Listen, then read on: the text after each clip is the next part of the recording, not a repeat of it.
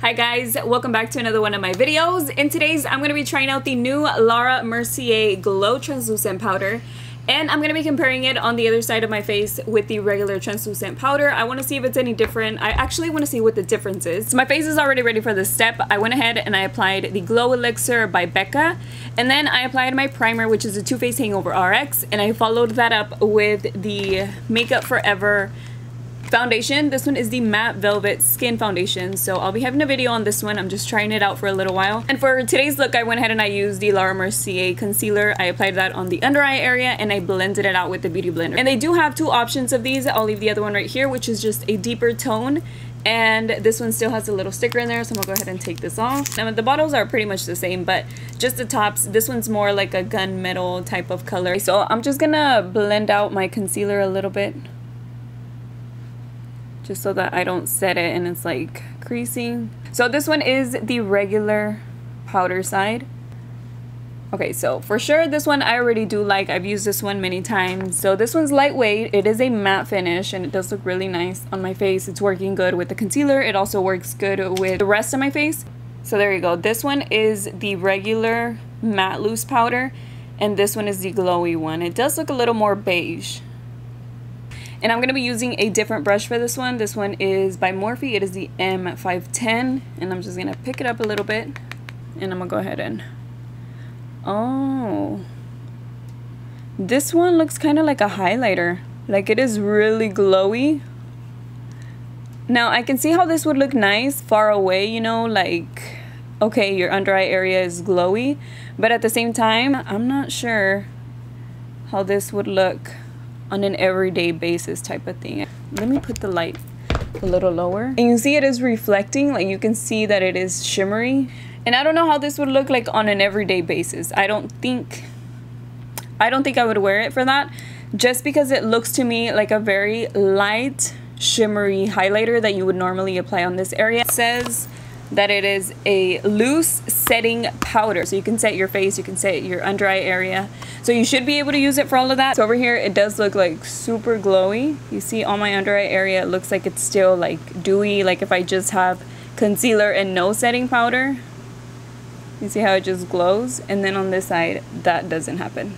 Okay, so what I'm gonna do is I'm gonna use the matte setting powder on one side of my face well on this side of my face where I have it matte. So now I'm to try the glowy side on this side. Hopefully I don't look too glowy. But to show you the difference between two sides, I really want to show you on a bigger area, not just like the under eye area. So I'm to try it. Yeah, it definitely makes my whole face look very shimmery. Now, again, it doesn't look bad, but it doesn't look... Ooh, that's too much. You got to be very, very careful in the amount that you put.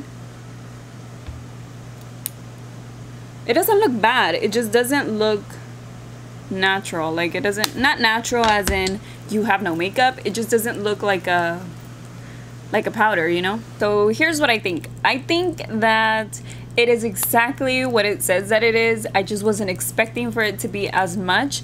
I thought it was gonna be more of a powder that someone with dry skin can actually wear and it look a little bit not dry or not matte. I don't know exactly what I was expecting, but I wasn't expecting for it to be this glowy. Now, I think it would be good for someone who maybe does videos or if you're gonna take pictures, maybe even like for your wedding so you can look like super extra glowy. And I think that that's like a special occasion. It's, I want to look I don't know, different than what I do every day, maybe a 15 or a wedding or something like that. But honestly, for every day, I would say I would not recommend this product. Like the more that I look at it, it does look nice and it looks glowy, but I could just imagine going outside, being in the heat for a little while, especially here in Houston, being outside and looking like shiny because it's kind of hot and humid getting a little sweaty and then looking super glowy on my face. Like I don't see this as an everyday type of product. I don't see it as a setting powder. This is $38 of course plus tax making it like 40 something, you know? So I honestly don't feel like that's worth it. Now if you want it for your makeup kit maybe if you do makeup on people and they are asking you for a very glowy look, then I think this powder would be good for that. Maybe if I was going, ah, let's take a with and without i'm gonna take a picture with the flash so that way i can see the way that it looks because i was fixing to say i would probably wear this to maybe like a special event like maybe a wedding or a party or something like that i feel like the best way for me to compare this is to tell you that it looks like if you were to apply glow drops. So like a glowy primer and you apply it all over your face before your foundation. That's what this looks like. Okay, so I actually have two. This is what I'm talking about. This is a primer and it's a glowy primer and so is this one. This one is by CoverGirl. So let me go ahead and swatch this. Let me wait until it dries. But I'm gonna go ahead and apply this one. This one you can see it right away that it's very shimmery. I feel like it looks very similar to this. If you can see the, how glowy this is. That's how my makeup looks on this side except in a powder form and I feel like that's the best way for me to compare it. Now what I do think is that it might look good and I'm actually gonna try it like that. It might look good as a body shimmer like one of those shimmers that you can even use on your legs and stuff. Yeah. Yeah this looks more like a pretty body shimmer. I mean that doesn't look bad. It makes you look very bronzy and glowy for summer.